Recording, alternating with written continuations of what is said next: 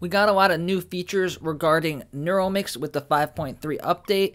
And my favorite one is this really cool Neural Mix crossfader. So the, in the middle over here, we have this, and then we could press this drop down menu. We have EQ, Neural Mix EQ, or Neural Mix crossfader. And in this video, I'm going to show you how to map a Neural Mix only controller so you could plug it in with your regular controller, still have all your features on your controller, plus have a controller just for Neural Mix.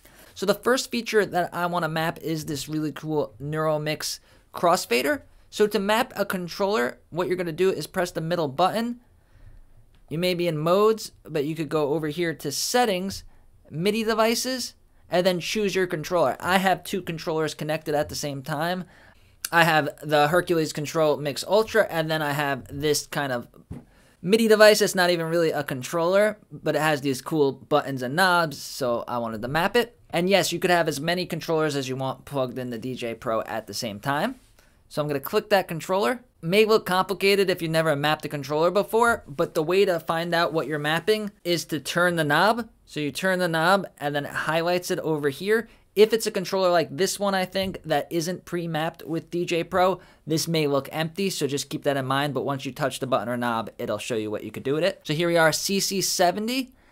And now it took me a while to figure this out, but the crossfader, the Neural Mix crossfader is going to be target mixer, not one or two. So target mixer, that's where it's going to be, and then the action is what it's going to do.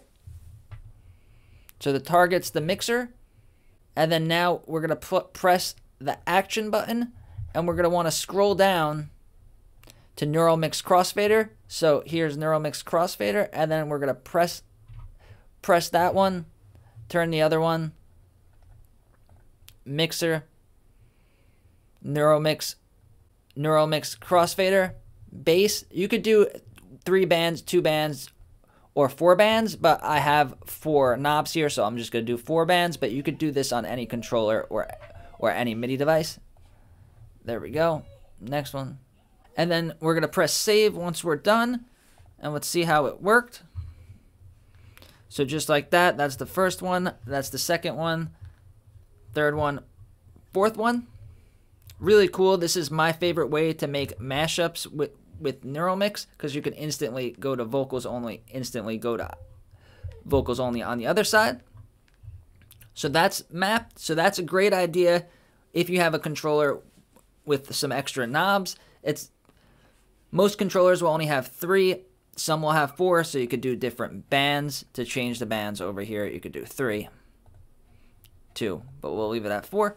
Now next, what are we going to do with these buttons? I'm going to use these buttons to make to isolate isolate the track. So if we press over here, every night I pray one day I'll make the change, break these chains and rise above. So if we press these buttons here, it's gonna make it a solo. So I'm gonna use these four knobs to make it a solo. So we're gonna press the middle button, go back here, choose our controller, press the button, and now this is going to be target deck because we're going to control this deck's Neural Mix, and then the, and then we're going to use this side to control the right size deck's Neural Mix. It's not in the mixer. The crossfader is a mixer because it controls both. This was hard to figure out, but we're going to scroll down almost all the way to the end, and then we're going to and then we're going to choose Neural Mix NeuroMix channel. So it's Neural Mix solo and we're going to do the drums for this one. We're going to do the bass for this one, and then the harmonics, and then the vocals, and then we're going to repeat the process on both sides. So here we go. I'm going to play the track.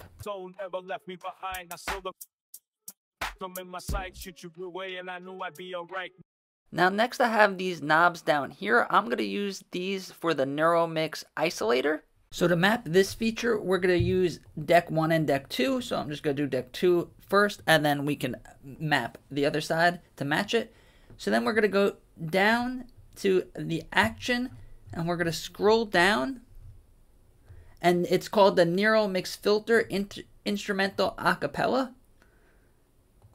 Now, this used to be the feature down here. There used to be a slider, and you could slide it from instrumental to acapella, but they took that away but you could still map the feature, so check it out.